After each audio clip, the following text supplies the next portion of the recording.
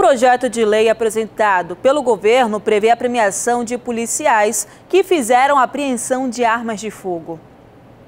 O do prêmio depende do tipo de arma apreendida e das circunstâncias da apreensão oscilando entre 300 e 1 mil reais por unidade.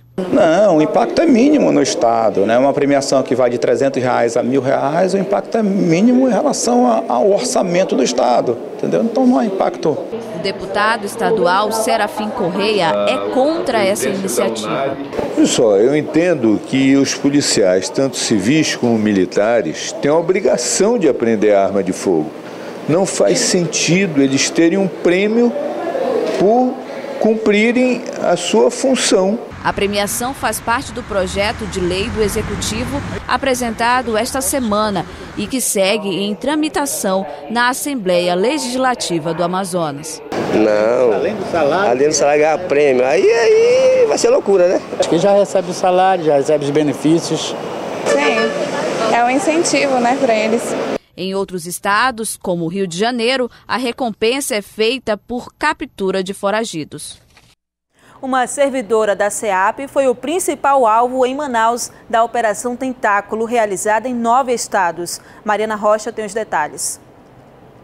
Exatamente, essa operação foi deflagrada aí pelos ministérios públicos em nove estados brasileiros, inclusive o Amazonas. É uma operação de combate à corrupção e à lavagem de dinheiro, onde são cumpridos 87 mandados, entre mandados de prisão, de busca e apreensão, afastamento de servidores de cargos públicos e até mesmo uso de tornozeleiras eletrônicas. A meta aí dessa grande operação nacional é prender aí, é identificar, inclusive, servidores não apenas públicos, mas particulares envolvidos em crimes como corrupção ativa e passiva, lavagem de dinheiro, peculato e tráfico de influência. Eu volto com você no estúdio.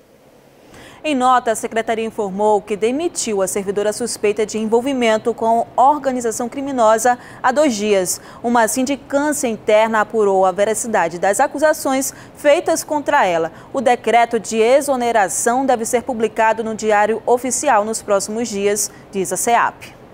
Marcos Rota ingressa no Partido Democratas, um evento com a presença de ACM Neto. Esse é um dos destaques do nosso giro político.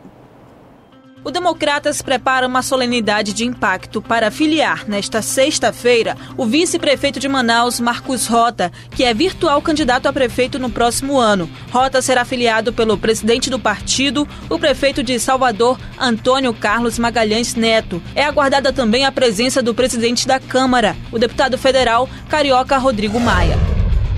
Falando em nome da bancada federal, o deputado Atila Lins cobrou o cumprimento feito com o ministro da Infraestrutura, Tarcísio de Freitas, para a reconstrução do trecho central da rodovia BR-319, a Manaus-Porto Velho. Atila lamentou que na proposta de lei orçamentária da União, nenhum tipo de recurso tenha sido direcionado para essa obra no Amazonas. Virtual candidato a prefeito de Manaus em 2020, o ex-governador Davi Almeida espera filiar mais de 1.500 pessoas no partido dele, o Avante, no início de dezembro. O evento será o pontapé inicial da campanha dele rumo ao Palácio da Compensa. No próximo bloco, a série Zona do Medo veja como bairros tradicionais e tranquilos hoje são palcos de guerra. São 6 horas e 36 minutos, a gente volta daqui a pouco.